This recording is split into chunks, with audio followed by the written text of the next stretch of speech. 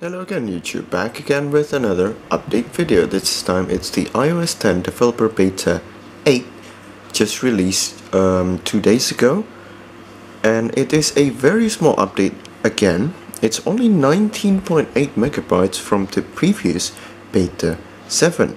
So basically because it is ramping up to the nearing September event from Apple, they are just releasing bug fixes so let's see what is about in this beta 8 so what I can I feel is that nothing has changed at all. I mean the boot time is actually exactly the same as the previous beta 7 beta 6 around 43 seconds.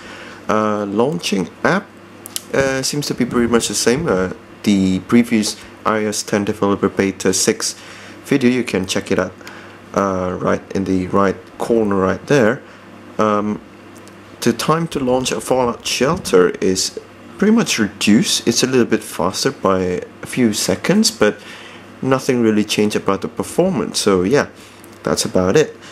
Um, so let's see about the bugs from the previous betas. Like what I mentioned before is that when you go to the task switcher right here if you can see right there if you're in another app besides this home you can see that it is oh look at that. It's sometimes it could be a little bit twitchy and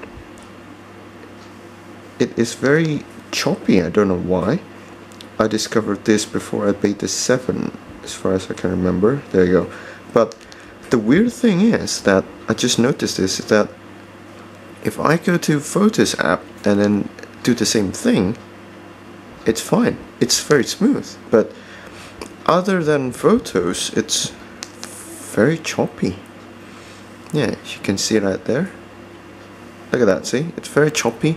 Don't know about that, but hopefully Apple will fix this kind of little issue before the final version uh, smoothness over here is actually I think it's a little bit improved now. S smoother just a little bit. Um, but yeah pretty good. Uh, what about the notification? As you can see right here. And it is I think it's pretty good as well yeah. Has improved on beta 7 just a little bit. You can still see a little bit of a uh, choppiness right here but it's all fine and yeah pretty good. Uh, control center doesn't really have any much problem at all but that's about it really. Nothing is on so I, I won't do another speed test because it is exactly the same.